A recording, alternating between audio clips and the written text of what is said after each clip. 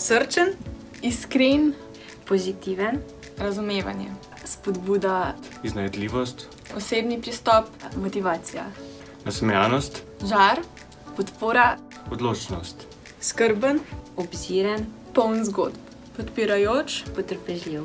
In vedoželen.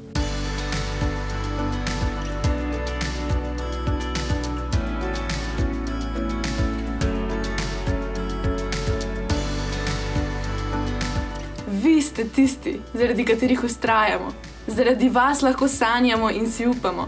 Pogumno stopamo po svoji poti. In si upamo, Pogumno stopamo po svoji poti. zaradi vas. Hvala vam. Hvala vam. Hvala vam. Hvala vam. Hvala vam. Hvala vam. Hvala